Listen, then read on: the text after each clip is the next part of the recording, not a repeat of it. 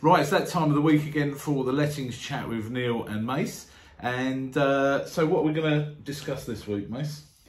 Um, we're going to discuss the importance of having regular rent reviews. Um, it's been a topic that is come up quite frequently um, since being back in the new year. Yeah, it's a great subject actually to talk about with everything that's going on, um, sort of in the financial climate and everything like that at the minute. So, why is it important then? What what do, what do clients need to know about why it's important to regularly um, review their rents? So rent reviews allow you to have that extra bit of wiggle room, if you like. Um, we're getting a few clients at the moment come to us mid-tenancy saying, "Oh, can I increase the rent? My mortgage is coming up for renewal. The rates are rising. It's not worth me having the investment anymore." Um, and a lot of these clients, the same clients that we, we've said, you know, let's have a rent review, and they said, "Oh no, I don't want to increase the rent. You know, I don't want to be greedy on my tenants. I know it's a hard time for everyone at the moment." But ultimately, you're not being a greedy landlord. You're just doing what's right for you and minimalising your risk by having these rent reviews. And it isn't anything major. You're not going to be putting your rent up by hundreds of pounds each month. It's small increments, sort of 25 to 50 pounds a month, and you're just keeping your investment, you know, you're just maximising your potential. Yeah, definitely. And it's an interesting point um, that you make because, you know, the sort of public perception of landlords often is that um, they are greedy and they are uh, just out to make money, etc. But as you said, we do have a lot of clients who will, um, you know, quite often not want to increase the rent because they've got a long-term tenant and everything like that. But actually, for me, um, you've almost got to at least be putting inflationary increases in on the rents because um, otherwise, one well, number one, landlords' costs are going up as we've seen. Mortgage rates are going up. Um, you know, everything is going up. Energy bills, businesses, stuff like that. So money that landlords are getting charged is going up. So their costs are on the rise, just as much as any tenant living in a property.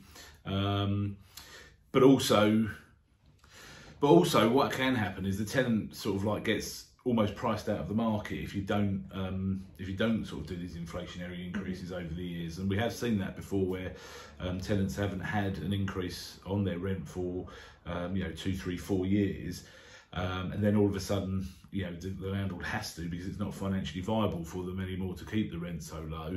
Um, and then it's actually unaffordable for the tenant because it's such a large increase at that time. So I think you're definitely right. Um, you know, the need to be getting increased um, sort of gradually at least to keep everything in line with the market at least.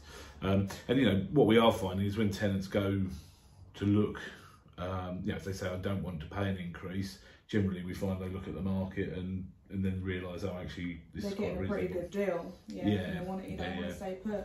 Yeah, definitely. I think remortgaging is a massive opportunity for landlords as well. Um, at the minute, with what's happened with rates, I mean, personally, I said to you, didn't my buy to let, um, you know, I advised people on this, but then I didn't take the action myself, and um, so now I'm remortgaging it. But what what did happen was it went onto a variable rate. Obviously, all the rates started to increase. Um, I was on a funny old mortgage which followed something called the LIBOR rate, which doesn't even exist anymore. So then it got changed to a different rate. Um, but the point is, the whole um, my rental amount that I'm getting for the flat didn't in the end actually cover the mortgage payment. So by remortgaging it, I'm now sorting that out, getting a better mortgage deal. Um, so I think reviewing finance is key at the minute, isn't it? Mhm. Especially to do that on a regular basis, like once a year, every Yes. 12 months when your tenancy's up for renewal. Yeah, definitely.